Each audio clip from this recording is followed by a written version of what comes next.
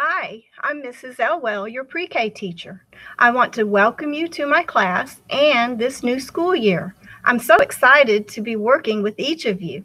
It is my goal to make this the best year and to help you learn and be successful.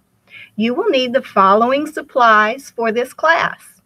A backpack, and please no rolling backpacks.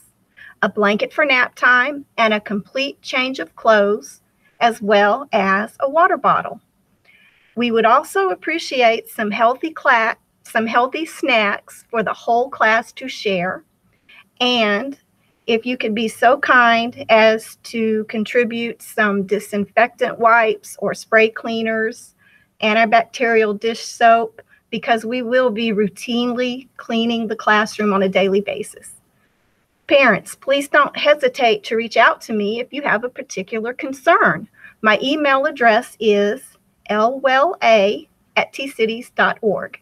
That's E L W E L L A at tcitys.org.